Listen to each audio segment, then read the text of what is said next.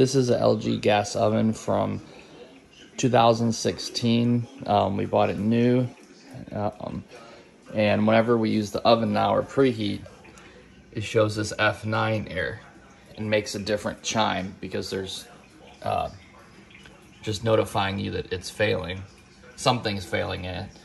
But I found a way to override this error and get the oven started because it will not start when you go to bake or convection uh, bake, it will not work.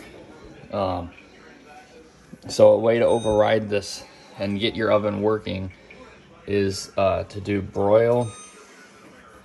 And I don't know how to change the uh, high or low, but I just do start on broil and uh, just wait for that to heat up a little bit. And uh, then I'll show you how to go from there. So once you've had the oven on broil for a little bit, you can look in here and you can see the flame is working up there.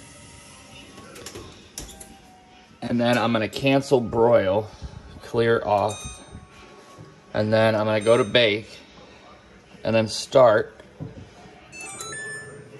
and then uh, that should work.